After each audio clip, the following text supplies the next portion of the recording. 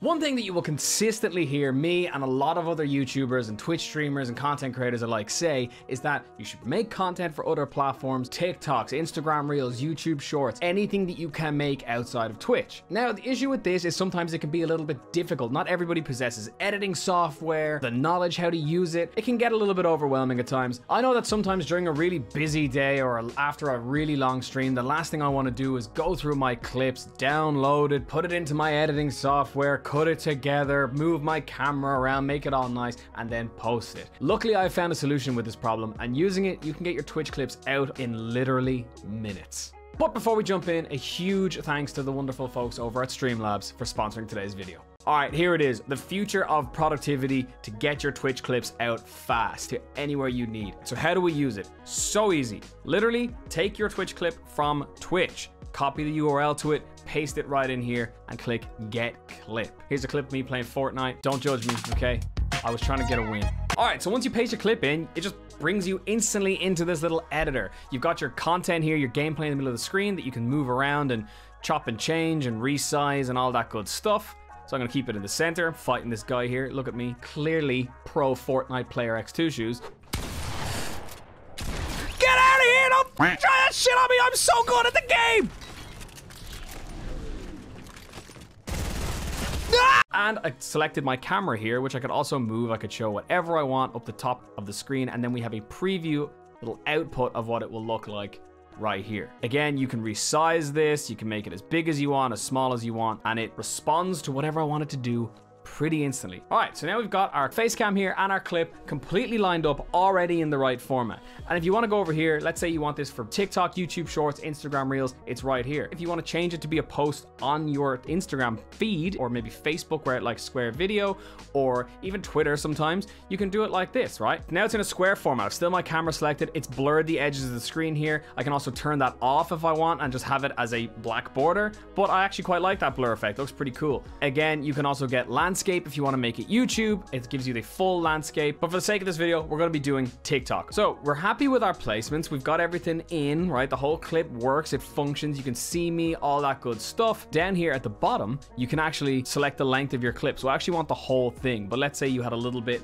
you know, at the start where you didn't want it. You could just drag that in, get rid of it, maybe cut off a little bit at the end easy peasy, but I want, in this case, the entire clip. So once you've got your clip, once it's completely done, all you've got to do, click compile. You can name your clip, so I want to call it something interesting. Let's call it never get too confident. I've got all that done, and all I got to do is hit start compilation done. Literally took two seconds, click download. I can download it wherever, onto my desktop, wherever I want to put it, and I can post it on TikTok. Now, the beauty of CrossClip and why I prefer it over other services is because it also comes with a free mobile application, which is so handy because most of us use TikTok or Instagram on our phones. Yes, you can upload from your desktop, but it's so much handier on your phone. Why I'm so bad at uploading on TikTok sometimes is I hate having to make my clip, do it on the computer, and then like upload it to my Google Drive, and then download it from my Google Drive and just or send it to myself or email it to myself or any of that thing, it just becomes awkward and annoying.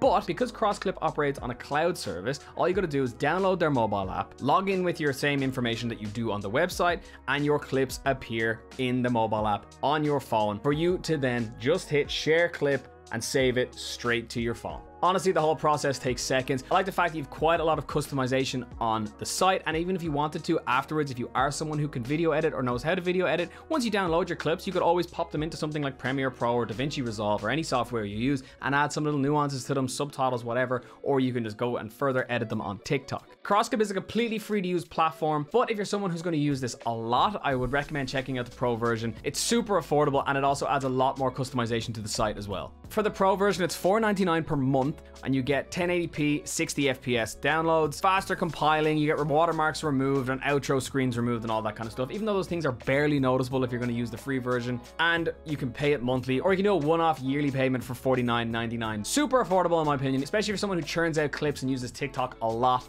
highly recommend it. But if not, stick with the free version, try it out for a while. It's definitely something I'm going to be using going forward. As I said, anything that adds a little bit more productivity or cuts out time I have to spend during the days, I'm down for it. CrossClip is still in beta, so there's going to be a lot more things coming in the future. I've actually linked their blog down below as well, where they'll talk about all those changes and things and features they're adding Definitely check it out. Super worth it. But yeah, that's all I have to say. A little bit of a shorter video today, guys. As you know, I mentioned it in my last video that I'm actually moving countries. I'm in the process of moving my life to the Middle East uh, at the minute, trying to get my videos out and trying to get them uploaded. So We'll be back to normal, longer form content soon, but I just thought I'd share this clip with you guys super quickly. Links to Crossclip down below, both their desktop and mobile versions, and a huge thank you to Streamlabs again for sponsoring today's video. As always, everybody, please do subscribe if you enjoyed today's video. Leave a like on it as well if you think what I've told you is cool. Coming up on that 10K, we're close. But as always, have amazing weeks on your channels, creating content or doing whatever you're doing. And if you're not having a great week, don't worry, next week's a new one. Peace out, much love,